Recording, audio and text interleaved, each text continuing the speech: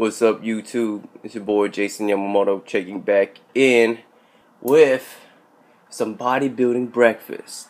Okay, and don't mind the Asian plate. Okay, let's let's concentrate on what we have on the plate.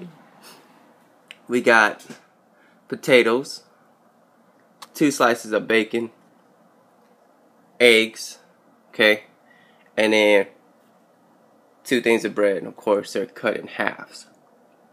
So it looks like four slices, but it's really two slices. If you ain't making lean gains, it's because you're not eating like this. Okay? Now, some of you guys may disagree, some of you guys may not, you know, but hey, check this out, man. I'm just letting you guys know this is one of the best meals. Okay, I'm gonna say that one more time. One of the best meals to eat to build lean gains. Bread,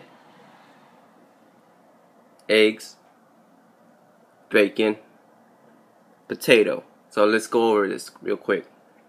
So this is protein, carbs, protein, protein slash carbs. Okay, bread is a very complex um, carb, and complex carbs have all the essential nutrients that you need when it comes down to eating uh, both protein and carbs.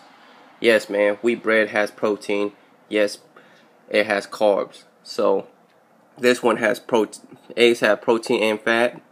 Potatoes just have carbs, and of course, you're talking about complete proteins. Okay, just because it says protein doesn't mean it's a complete protein. Complete proteins usually come in meat. Alright, so don't get that shit twisted. Alright, guys. I'll talk to you guys later. It's your boy Jason Yamamoto checking out. Nice, breathe.